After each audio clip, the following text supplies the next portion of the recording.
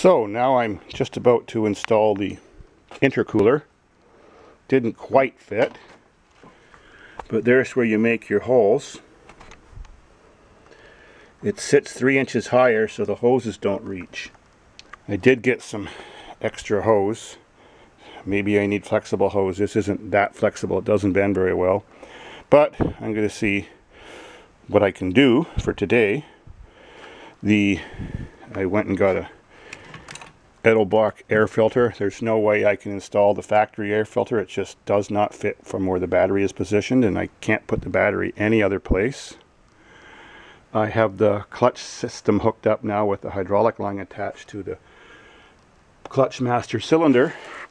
But the plastic hydraulic line is too short. This is unique plastic pipe. It's 5 16ths on the outside and it's got a tiny little hole in the middle of only about 2 millimeters. So it's got really thick walls. So I put a little piece of 3, inch, three inches of copper pipe in between and these are just compression fittings. And I totally believe that I'm never going to have a problem because the thickness and rigidity of this high strength pipe. So the wiring's almost done. Like the wiring is done under the hood. When I set my rad and I just got to plug this in.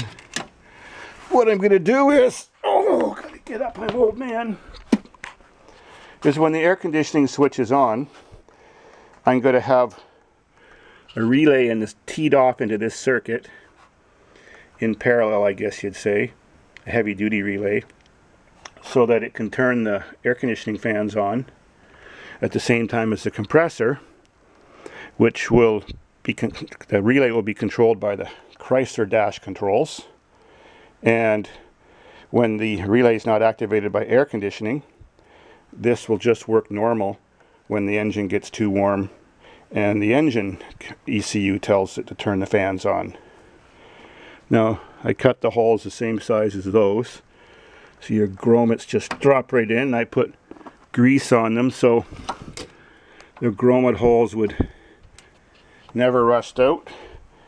And I've already set the intercooler in there and it pins drop right into those holes just perfectly. And the other adjustment I had to make was this little part here. This hits this tube that comes out at an angle for the intercooler.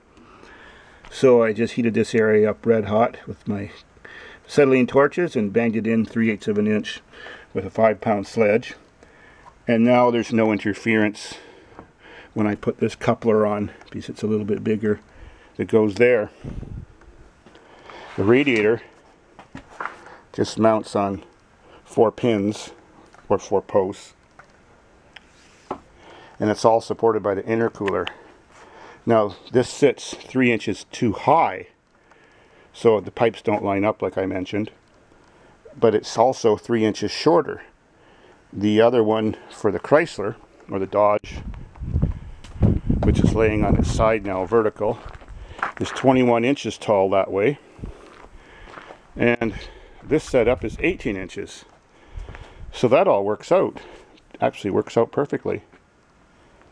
So I still I just have to make different upper rad supports, but that's no big deal. So it's almost ready.